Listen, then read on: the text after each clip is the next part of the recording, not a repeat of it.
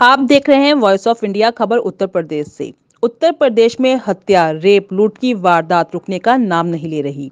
बीते दिन उत्तर प्रदेश के फतेहपुर ज़िले के खागा कोतवाली इलाके में नवविवाहित गर्भवती महिला का रेप करने में नाकामयाब लोगों ने महिला का कत्ल कर लाश को खेत में फेंक दिया।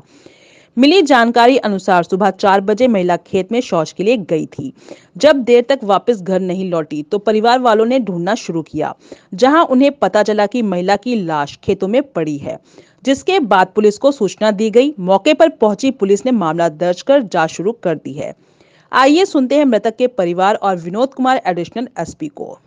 वह जंगल कैसे पहुँच जंगल वहाँ कैसे? कभी घर में शौचालय बना है? चल नहीं बचा। नहीं बना है घर में। वो वहाँ कभी लेटरिन नहीं जाती थी? जाती कहाँ थी वैसे? नज़दीक। नज़दीक। घर से कितनी दूर डेड बॉडी मिली? दो किलोमीटर। वहाँ नहीं जाती थी। हाँ। किस लिए वहाँ गई होगी? क्या आपको वही तो शायद पता नहीं। चार बजे से मेरी हम ढूंढ रहे हैं खोज कर रहे हैं। अगल बगल वहाँ वन विभाग वहाँ हम नहीं पहुँच पाए। वो एक औरत टट्टी गई तो वहाँ जौन है दिखा तो हम फिर दोनों मेहरिए मन सब वहाँ भाग के गए। ये सब ले पता ला के हम चौकी हम फ़ोन किए चौकी वाले आए। गलत किया किसी ने उसके साथ दुष्कर्म वगैरह ऐसे करने की कोशिश की? क्या लगता है? हाँ गलत। दुष्कर्म करने की कोशिश की गई उसके हाँ साथ? हाँ गलत। हाँ? गलत था। तभी वहाँ गया। कौन लोग हो सकते हैं? अब साहब यही तो भंग नहीं करते। कौन क्या किया क्या न किया? में एक क्रिया के लिए गई महिला को चाकू से करके हत्या करने का मामला संज्ञान में आया क्या है?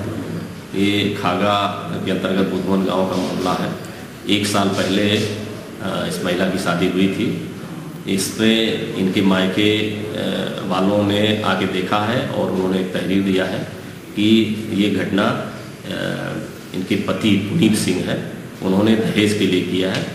दहेज के लिए ही प्रताड़ित करते थे और आज इन्होंने उन पर चोट पहुँचा करके मार दिया है।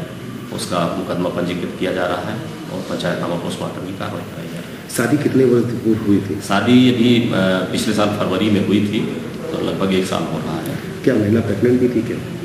उसके संबंध में मेडिकल रिपोर्ट और सारी चीज़ों की जब पोस्टमार्टम रिपोर्ट आ जाएगी उसके बाद जानकारी सर रेप के विरोध करने की बात आ रही कि रेप के विरोध करने पे उसकी हत्या का नहीं अभी जो जितना मामला आया है उनके परिवारी जन आ गए हैं उन्होंने दहेज प्रताड़ना का आरोप लगाया है उसी की एप्लीकेशन दिया है और उसी का मुकदमा भी पंजीकृत किया जा रहा है। ये थी फतेहपुर से इरफान काजमी की रिपोर्ट। आप देखते रहे वॉइस ऑफ़ इंडिया